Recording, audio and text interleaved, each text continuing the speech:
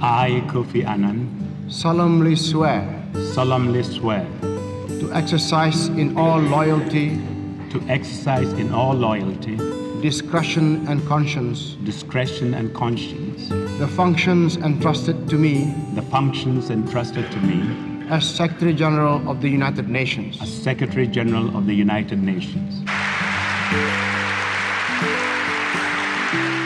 Peace must be sought above all because it is the condition for every member of the human family to live a life of dignity and security. I have spent most of my life working with the United Nations. I feel it is my home. I can think of no other job in the world that would have been so rewarding.